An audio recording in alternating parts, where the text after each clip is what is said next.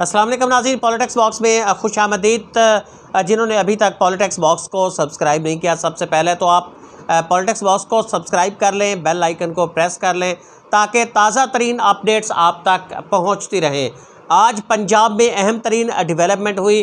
कल जो पाकिस्तान मुस्लिम लीग नून के कारकुन तफसीली फ़ैसले के बाद इब्तदा में पाकिस्तान तहरीक इंसाफ के कारकुन जश्न मना रहे थे। फिर जब जैसी फ़ैसला, ज़रा डिटेल फ़ैसला आया तो ये पाकिस्तान मुस्लिम लीग नून के कारकुनों के चेहरों पर उस वक़्त खुशियाँ फैल गई। क्योंकि ये एक ऐसा फ़ैसला था कि जो पाकिस्तान मुस्लिम लीग नून को खासी हद तक महफूज कर रहा था, हमजा शहबाज शरीफ को महफूज कर रहा था। कल का जो फ़ैसला तफसीली फ़ैसला आया और उस पर पाकिस्तान मुस्लिम लीग नून के अरकान, पाकिस्तान मुस्लिम लीग नून के तर्जुमान और पाकिस्तान मुस्लिम लीग नून के कारकुन बहुत ज़्यादा खुश थे। उन्हें खुश होना भी चाहिए था क्योंकि इससे उन्हें दो बड़े फ़वाद हासिल हो रहे थे।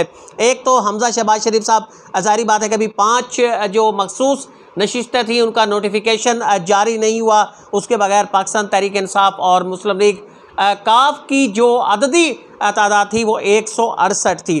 दूसरी तरफ़ एक सौ छिहत्तर अरकान पाकिस्तान मुस्लिम लीग नून और इतिहादी जमातों के थे तो ये एक बड़ा डिफरेंस था। पाँच नशस्तें अगर वो जमा हो जाती तो ये एक सौ तिहत्तर, एक सौ छिहत्तर में ये बड़ा मामूली सा फ़र्क था। दो मेंबर्स इधर उधर होते तो इससे सूरत हाल तब्दील हो सकती थी। लेकिन इसमें सूरत हाल तब्दील होने के इम्कान नहीं थे। तो इस तरीके से हमजा शहबाज के लिए ये बड़ा महफूज तरीका था। उससे वो कामयाब हो जाते और फिर उसके बाद शायद जो ये इंतखब हो रहे थे, इन पर भी इहसार ना करना पड़ता। दूसरा जो प्रेशर डेवलप होता, वो इंतज़ामिया पे डेवलप होता कि अगर ये वज़ी अला बन जाते मुस्तकिल तौर पर वज़ी अला बन जाते तो ऑफिसर्स पर भी बड़ा दबाव होना था कि इन इंतबात में मुस्लिम लीग नून को ही कामयाब कराना है। क्योंकि मुस्लिम लीग नून की हुकूमत जाने वाली नहीं है। लेकिन अब सूरत बिल्कुल तब्दील हो चुकी है। इस फैसले के बाद जो आज आया है सुप्रीम कोर्ट का, और फिर उसके बाद एक यूनानिमसली जो डिसीज़न हुआ है, ये ऐसे ही नहीं हुआ। इस डिसीज़न को बड़ा सोच समझ के हमजा शहबाज को कबूल किया गया है। पाकिस्तान तहरीक इंसाफ की तरफ़ से और चौधरी परवेज़ इलाही मुस्लिम लीग कायद अज़म की तरफ़ से बड़े सोच समझ के इसको कबूल किया गया है। इससे आने वाले दिनों के अंदर पाकिस्तान तहरीक इंसाफ को बड़े फ़वाद मिले एक तो जो सरकारी मशीनरी का इस वक्त जो दबाव है, वो बिल्कुल कम हो जाएगा। मैं फिर कह रहा हूँ कि ये दबाव बिल्कुल कम हो जाएगा।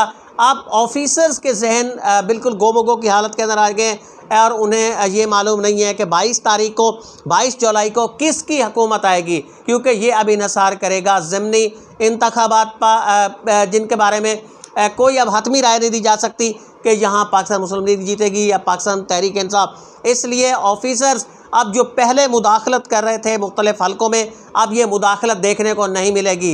ये बात नोट करने काबिल है कि ये मुदाखलत अब देखने को नहीं मिलेगी और ना ही सरकारी मशीनरी या यूँ कह लें कि हमजा शहबाज शरीफ साहब अब बहुत ज़्यादा असरानंदाज हो सकेंगे क्योंकि इस वक्त जिस सूरत हाल में ये आ गई है तो ऑफिसर्स अब खुद बड़े तजब्ज़ों का शिकार है, बड़े गोमकों की हालत के अंदर है कि किसकी हुकूमत बाईस को बनने जा रही है और वो बड़े मोहतात हो के अब कदम रखेंगे। इम्कान यही है, इम्कान गालिब यही है कि अब ये बात न्यूट्रल तक चली जाएगी और सरकारी मशीनरी शायद अब किसी के लिए भी इस्तेमाल ना हो, ये खामोश हो जाएगी। बाईस तारीख को अब जो इंतखब होना है, ज़मनी इंतखब का, उस पर अब गहरा असर होना है। ज़मनी इंतबात में जमातें जो ज़्यादा नशस्तें हासिल करेगी उससे मखसूस नशस्तें भी मिल जाएँगी और फिर मखसूस नशस्तों के बाद जो तनासब होगा वो सबसे ज़्यादा अहमियत है। दूसरा, पाकिस्तान तहरीक इंसाफ को, चौधरी परवेज़ इलाई को एक टाइम मिल चुका है, बड़ा टाइम उन्हें मिल चुका है तैयारी के लिए। तो चौधरी परवेज़ इलाही भरपूर ज़ोर लगाएँगे चौधरी ख़ानदान के जो बायमी मामला हैं, वो भी काफ़ी हद तक अब हल हो चुके हैं। चौधरी शुजात भी उनके लिए कोशिश करेंगे, चौधरी बिरादरान की अब ताकत और जोड़ तोड़ की जो सियासत है वो इन दिनों के अंदर अब काम दिखाएगी। ये बीस दिन बहुत ज़्यादा अहम है। ज़मनी इंतबात तो हैं ही हैं, लेकिन चौधरी बिरादरान भी यहाँ बहुत कुछ करने वाले हैं और इन इंतबात के बाद और बाईस तारीख को वो कुछ होने वाला है कि जिसका कल तक किसी ने भी तस्वर नहीं किया था। और जैसे जैसे अब दिन गुजरेंगे सूरत हाल बिल्कुल ये वाजे होती जाएगी। फ़िलहाल अली अमजद चौधरी को इजाज़त दीजिए। अल्लाह निगबान